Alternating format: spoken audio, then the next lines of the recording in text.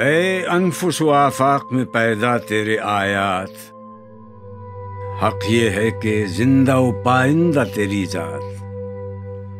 میں کیسے سمجھتا کہ تو ہے یا کہ نہیں ہے؟ ہر دم متغیر تھے خرد کے نظریات۔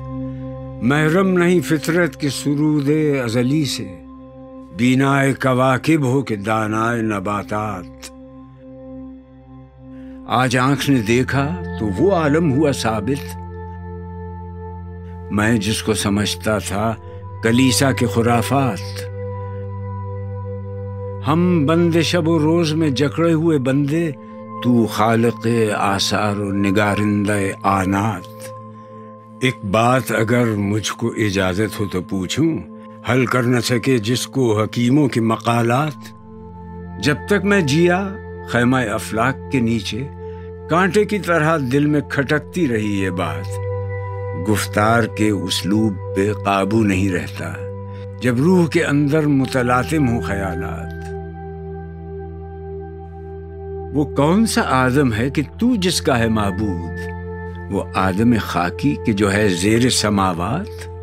مشرق کے خداون سفیدان فرنگی، مغرب کے خداون درخشندہ فلزات۔ یورپ میں بہت روشنی علم و ہنر ہے۔ حق یہ ہے کہ بے چشمہ حیواں ہے یہ ظلمات۔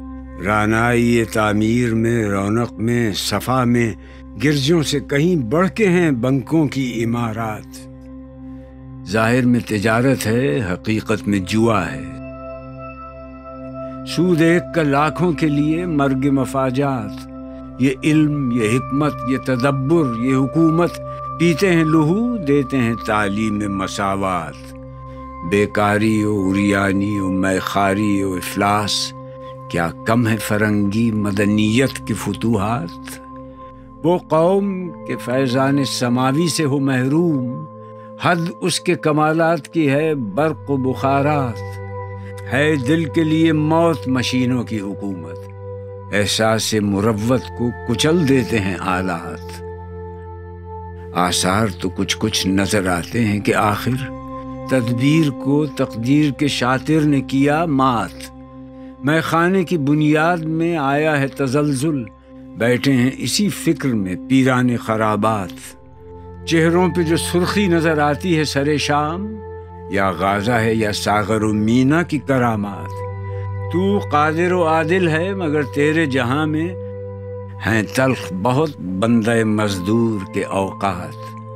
کب ڈوبے گا سرمایہ پرستی کا سفینہ؟ دنیا ہے تری منتظر روز مقافات